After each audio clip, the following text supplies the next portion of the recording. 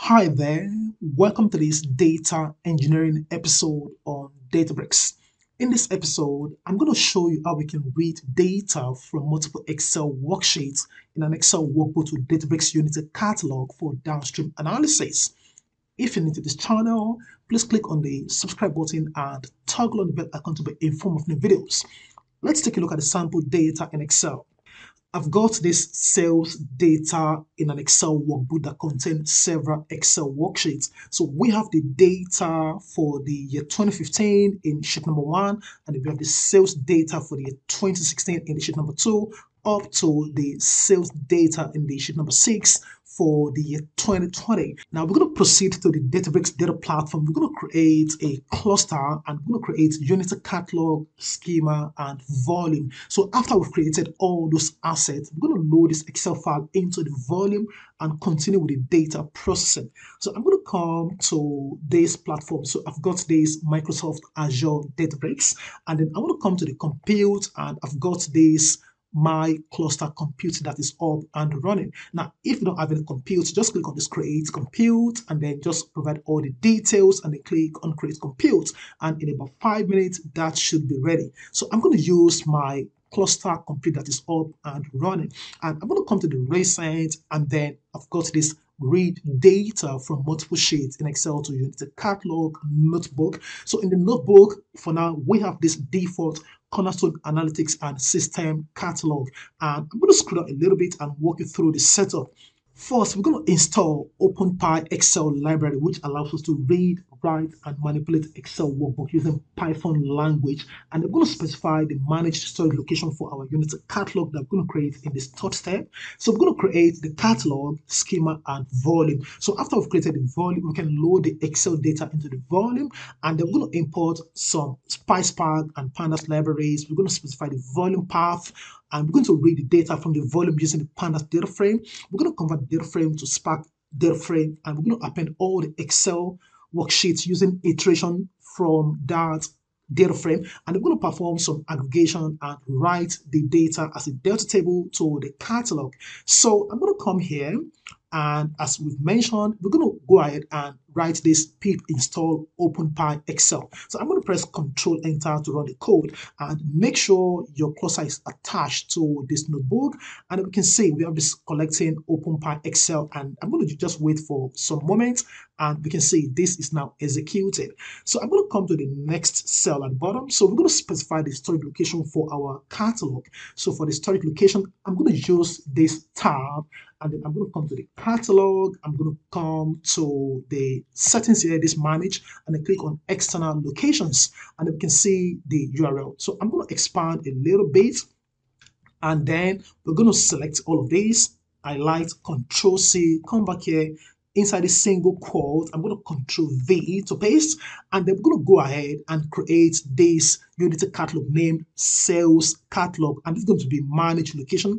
And then inside this curly brackets, we have the storage location variable that we're passing here and then we're going to use the spark SQL to create this unity catalog and we're going to also create the schema called sales schema. That's going to be within the sales catalog and we're going to also create the volume name sales volume within the sales schema of the sales catalog. So we're going to be using the spark.sql to create all of this. So i'm going to press Control enter to run this set of codes and let's see. So this executed and you can see inside this data frame list, they call the square brackets, we have this done. Now, I'm going to go ahead and click on this refresh catalog and we can see the sales catalog. I'm going to expand and we can see the sales schema, expand and we can see the sales volume, expand and then we have no data. So I'm going to come to this tab and I'm going to just go back to the catalog. I'm going to click on this refresh just for the sales catalog to sync in and then I'm going to expand, expand the schema, expand the volume, click on the volume. So I'm going to click on the volume and then use the upload to this volume. So I'm going to browse through the sales data on my local laptop and we can see the data. So I'm going to click on upload. So this is now uploaded and we can see name, we can see the size about 26 kilobytes and we can see the last modified time. So when I click on this, of course, it's going to show me error format not supported for preview. So no problems. And I can click on the details and we can see all the details, including the name, the name of the catalog, the name of the schema where it is housed, the name of the resource. We can see this a managed, not an external volume type.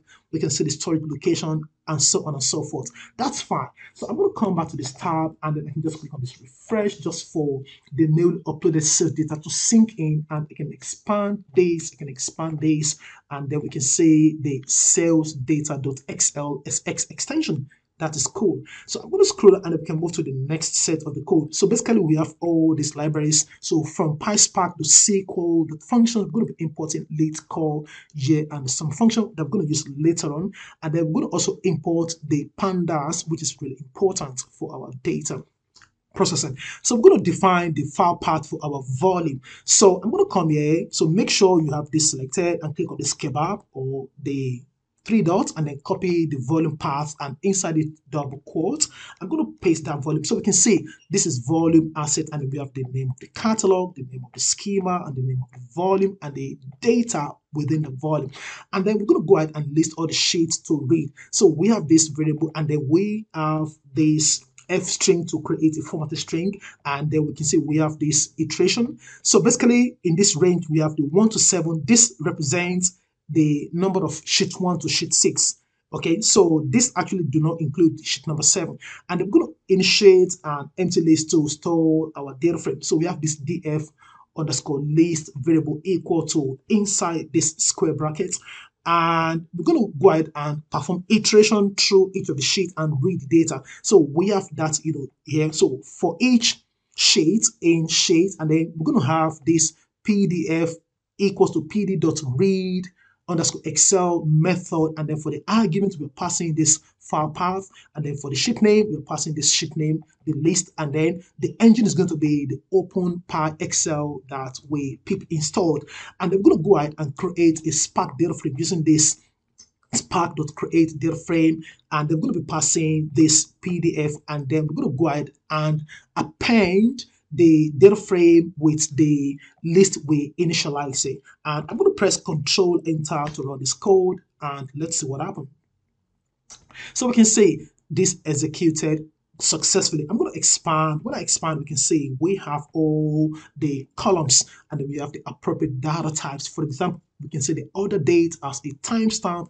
We have payments, we have region, subcategory, ship mode, products, and the other priorities, including the sales. So we can go on and unit all the data frame into a single data frame. So again, we have this variable called final underscore df equals to df underscore list and then inside this um, square bracket we have zero and then we're going to perform some iteration also again and then we use the union by name method and then we pass in this df and then we also allow missing column to, we set this to be true. And i'm going to go ahead and extract the year column from the appended data frame. So i'm going to press control enter and we can see this execute i can expand this and then we have the all of these columns and when i come to this final data frame we can see we have the year column extracted which is what we use for with this with column function or the method here. So I'm going to go ahead and perform some calculations. So I'm going to exclude, create a new cell and let me just grab this. So I'm going to just copy this into the clipboard and come down here. So uh, let's want to say total sales by year and region. So I'm going to create a variable called sales by year and region so equals, and I'm going to paste that final underscore df dot. I'm going to use the group by method. So group by and open brackets. Now I'm going to group by the year and the region. So inside double quote, I'm going to call the year column, put in a comma, and then inside double quote, I'm going to see the region, and I'm going to use the dot aggregate method, and we're going to use the sum function, and we're going to sum the sales amount column. So inside double quote, I'm going to type in sales amount dot, and then we're going to alias this as sales so inside the sales and we can use the display method to display the sales by year and region so i'm going to press control enter and Okay, so we have the total sales by year and region, which is absolutely cool. Now let's just check this out in Excel to check whether these are correct. So I'm going to come here and this is sheet number um, the sales data for the 2015. I'm just going to perform a simple sum ifs. So I'm going to do sum ifs and then for the sum range, I want to sum all this numerical column comma, and then for the criteria range one. Now, I'm not going to focus on the date because that's already going to be 2015. So I'm going to focus on the region comma, and then for the criteria one, I want to see, let's just say central inside double quote central, close the bracket, press enter. So this gave us nine. So we can see total sales for the central region for the year 2015 is nine. So when I come back to the Databricks, we can see central, which is nine. So this is working absolutely fine. So I'm going to come here and then we can go on and save the final deal frame to the sales schema. So I'm going to come here and create a new cell and I'm going to call this one um, final df data. And I'm going to use the dot write method dot mode and then the mode is going to be overwrite if it exists. So inside double quote overwrite. And then we're going to use the save as table method. And then we're going to specify the name of the catalog schema and the name of the table. So inside double quote, I'm going to call the sales underscore catalog, the name of the catalog dot sales underscore, it should be sales underscore schema dot, and then I'm going to call this one sales data. So let me just um, correct this. Um, the F. Okay, I think this should be fine. So I'm going to press Control Enter to run this code. Okay, so this executed. Absolutely cool. Now I'm going to click on this refresh and when I expand the sales catalog and I expand the sales schema and we can see now we have a table object and I'm going to expand and then we have the sales data. And I can expand and then we can see all the columns which is really cool. So I'm going to come here click on refresh and I can click on this again and I can see all the details. I can see the overview. So this is now a delta table. So when I click on the sample data I can see all the data. I want to click on the details. So we can see this is a managed table. And we can also even use the SQL to you know query all of this I can come to the SQL editor and I can click on this um, plus and create a new tab. And we're going to just you know click ok and we can see the sales catalog and we can go on and change the name of the catalog to the sales underscore catalog and we can change the schema to the sales underscore schema and then we can perform select star from the name of our date table is that should be sales data. Okay so sales data and then we can go on and run this code.